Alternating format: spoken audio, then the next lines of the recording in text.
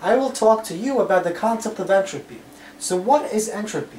Well, the most basic definition of entropy is that entropy is the measure of the disorder of a system. But that's not a very good definition, because it's kind of vague, and you can't quantify with that definition. You can't use numbers. So let's explore the concept of entropy using probability, and maybe we can come up with a better definition using probability. Okay? So let's look at this system here. This system is composed of two containers connected by a bridge. And within the container, there are four different molecules. And these molecules are allowed to diffuse from one side to the other side. So let's see what's the most probable situation that we can get. Okay? So what's the likelihood that we're going to get four different molecules all on the left side? Okay? Well, this thing could only occur one time or there's one way that this can occur. So let's look at this side, okay? What's the likelihood that you get two different molecules on the left side of the container, or on the left container, okay? Well, there are six different ways that this can occur. And this means this type of situation is six times as probable.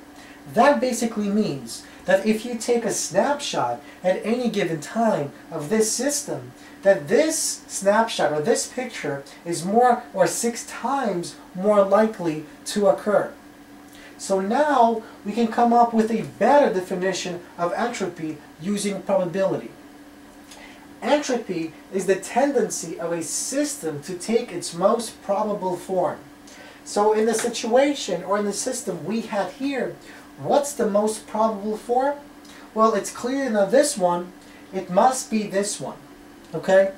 Now, you could imagine, this is only with four molecules. You could imagine how unlikely this becomes when we get millions and billions of different molecules. Okay? This becomes much more likely with greater amount of molecules. Now let's explore the relationship between the second law of thermodynamics and entropy. In another video, we saw that the second law of thermodynamics basically states that heat cannot be completely converted into work. Here we will see a slightly different definition of the second law of thermodynamics. So let's explore these two isolated systems that are, that are the same size, that have the same number of molecules, and the same type of molecules. Which one do you think is more probable to occur? Well, let's find out. Let's use entropy to find out.